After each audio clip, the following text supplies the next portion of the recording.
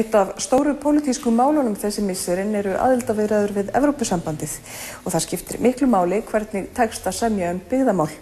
Í þessum þætti og þeim næsta ætlum við að fjalla um byggðamál og Evrópusambandið. Í Evrópusambandinu eru margar ólíkar þjóðir og þar býr fólk við mismunandi afkomu og félagslegar aðstæður. Byggðastefnu Evrópusambandsins er ætlað að draga úr þessu mun og það er gert með þessum hérna. Reyndar í alveg svakalega miklu magni. Rösklega einum þriðja af öllum fjárlögum Evrópusambandsins er varið til byggðamála. Byggðastyrkir Evrópusambandsins koma aðalega úr uppbyggingarsjóðunum þremur sem hafa úr að spila fér sem jafngildir meira en 57.000 miljardum íslenskra króna. Það myndi til dæmi stuga til þess að grafa meira en 4.000 hjeðinsfjörðargöng.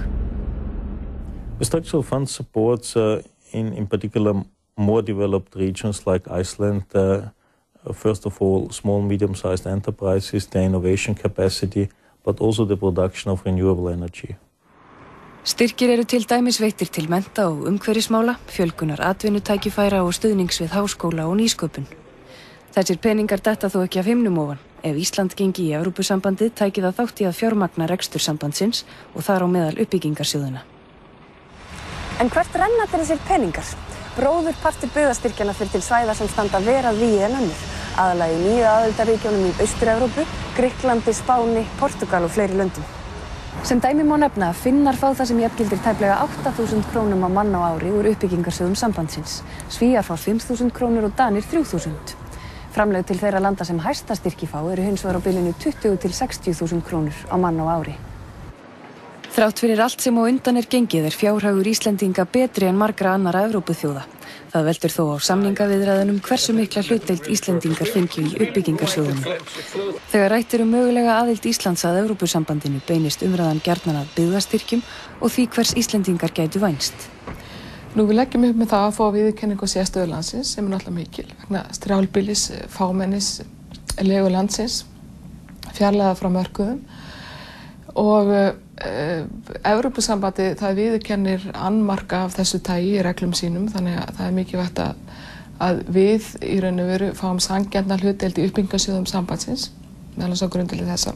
Na, við höfum alltaf hort til uh, aðeldarsamlingsi Finna og Svíja sem að fengu ákveðna sérlöst hvað sé varðar uh, að þeir líka til að, að, að hérna, sérstaða nýstu svæða varandi strjálbíli eða viðkend Í aðildarsamningum Svíþjóður og Finnlands var samið um að dreifbílsvæði þar sem íbúar eru átta eða færri á hvern ferkilometra skildu njóta 35 eurur stuðnings á hvern íbúa á ári óháð öðrum styrkjum frá sambandinu.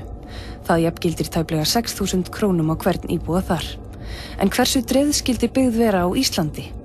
Íbúa þéttinginni þrýr íbúar, eh, þannig að við erum langt undir þessu. Raunar eru íbúar í um helmingi íslenskra sveitarfélaga færri en einn á hvern ferkilometra. Þau sveitarfélög ná yfir stærstan hluta landsins og þar búa rétt ríflega 30.000 manns innan við 10% þjóðarinnar.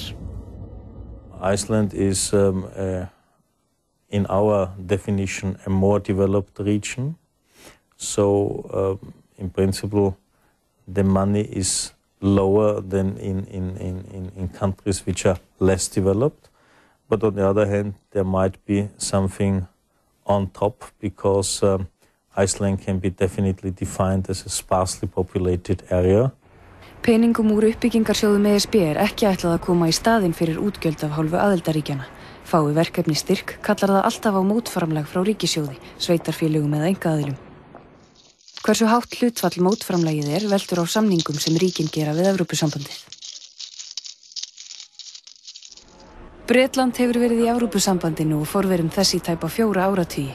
Skotar hafa því getað sótt fjármagn í uppbyggingarsjóði Európusambandsins, engum til verkefna í skosku hálöndunum. Þar hefur til dæmis verið unnið af aukinni atvinni þáttöku minnihlutahópa og stutt við framþróun fyrirtækja og mentastofnana.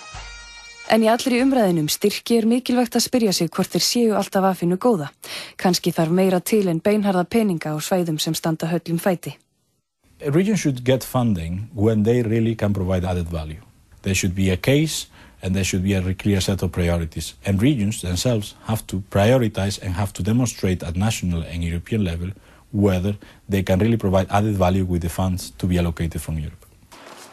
Sjálfsagt binda margir miklar vonir við útlutanir úr uppbyggingarsjóðum ESB og vonast til þess að með þeirra stuðningi megi draga úr flutningum fólks í þjættbíli og þar með fækkun fólks á landsbyðinni. In itself, EU funds can help to address uh, the big uh, demographic and, and, and, and, economic trends. However, uh, it cannot just be the, the solution. It cannot solve by itself uh, historical problems. It should only focus in the areas and in the priorities that really provide added value.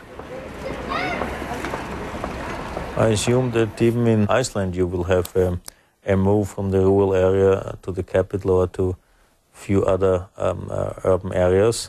This is a tendency, a phenomenon we cannot ignore. But again, it's our understanding to offer people opportunities to stay there where they would like to stay. This is in particular our understanding how we support regions which are in a challenging geographical position.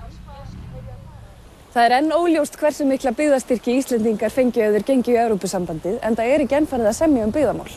Við erum meðal ríkari þjóða í Európu og fengjum því sannarlega ekki styrki á við þær fátækustu. Á móti kemur að við búum með aðstæður sem Európusambandið tekur tillit til. En eitt er ljóst, það fæst ekkert gefins í þessum öfnum.